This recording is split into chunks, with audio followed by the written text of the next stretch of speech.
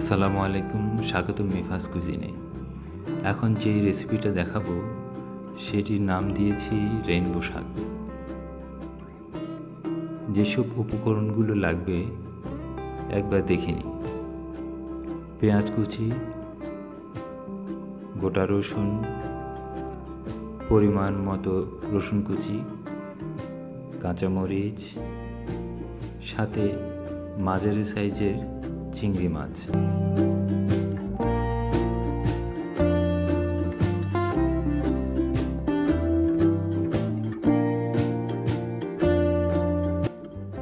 আমি শাকের ক্ষেত্রে ডাটা শাক লাল শাক এবং কলমি শাক বেছে নিয়েছি।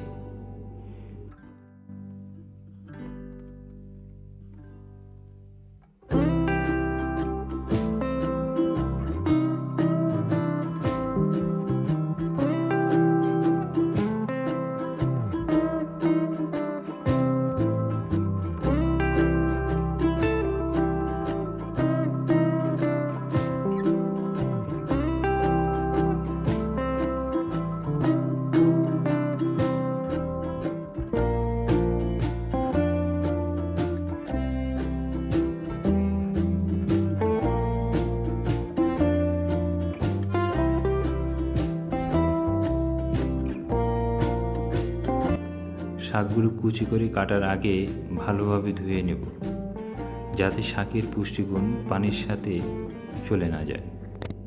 প্রতিটি শাক আলাদাভাবে ধুয়ে কুচি করে নেব।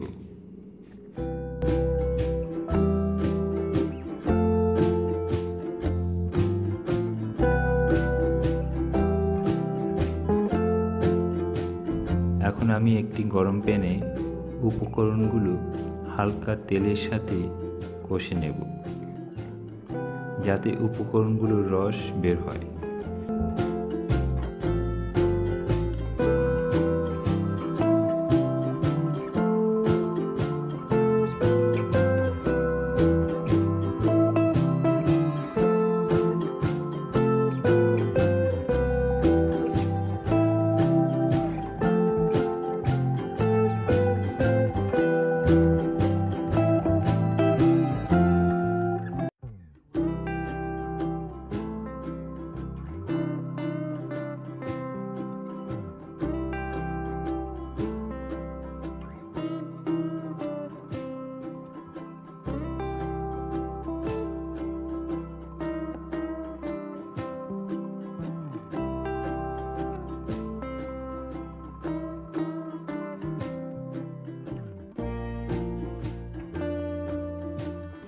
এবার পরিমাণ মতো লবণ দিয়ে আবার উপকরণগুলো মিশিয়ে নেব।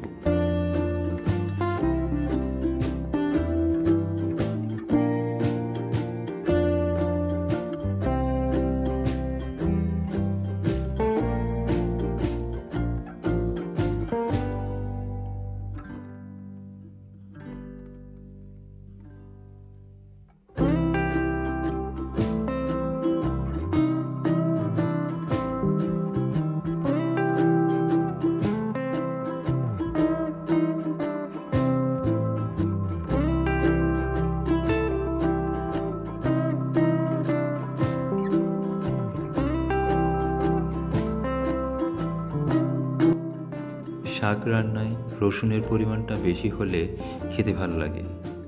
আমি পেঁয়াজ কুচি দিয়েছি, শাকের ঝোলটা যাতে খেতে মিষ্টি লাগে। এই শাক রান্নায় কিছুটা ঝোল রাখতে হবে, তাহলে খেতে ভালো লাগবে। লক্ষ্য রাখবেন যাতে পানি শুকিয়ে না যায়।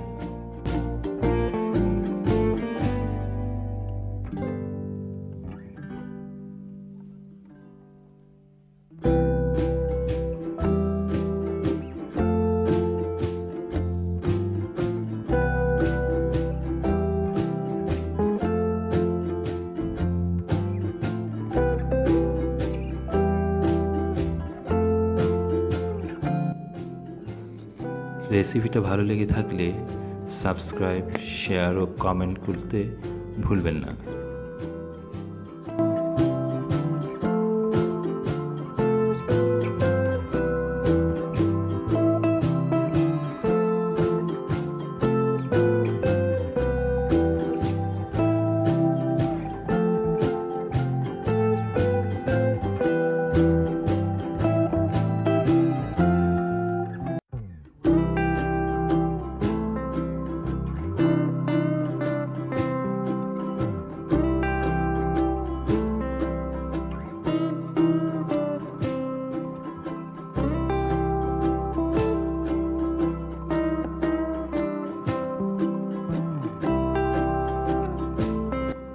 হয়ে গেল মজাদার রেইনবো শাক।